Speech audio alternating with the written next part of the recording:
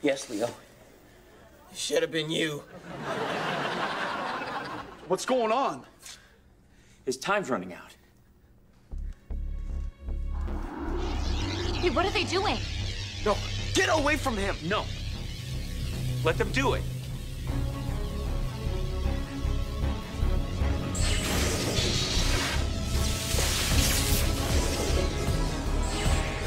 Davenport, what are they doing? They're saving my son's life.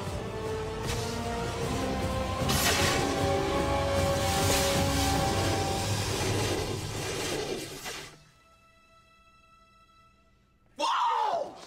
Ding dong, Leo's home! Whoa! Wait, so Yes, Leo.